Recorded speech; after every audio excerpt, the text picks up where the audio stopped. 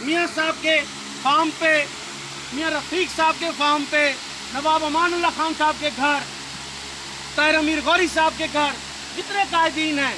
मुबीन भट्टी साहब के भाई को फौजी असगर, ये यहाँ बैठे हुए हमारे मियाँ फखर साहब। एक एक शख्स, एक एक शख्स, इवन मेरे घर में मेरे चचा हाजी इकबाल को उठाने वो उठा के तकरीबन ले गए थे। इन ये चीज़ें ना हमारे हौसले तोड़ सकती हैं ना हमारी सोचें बदल सकती हैं। इनकलाब और ये जो जेल हैं, ये जो हथकड़ियाँ हैं, ये तो मुजाहिदों का जेवर होती हैं।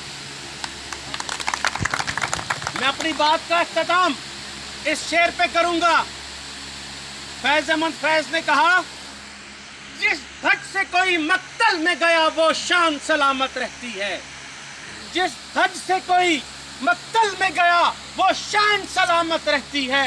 ये जान तो आनी जानी है। इस जान की क्या कोई बात करे?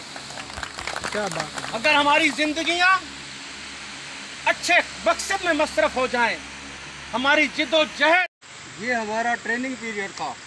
ट्रेनिंग हो गया था। अगर आइंदा इस किस्म की ज़रूरत थी हुकूमत में तो हमारा वर्कर मजामत भी करेगा। और ये सब एक बार फिर आपका शुक्रिया अदा करता हूँ। ये बहुत अच्छे बात। अब आइंदा जेल जाने का इंतज़ार ना करा हमारा। ऐसे देखने से जाते रहना। बड़ी मेहरबानी।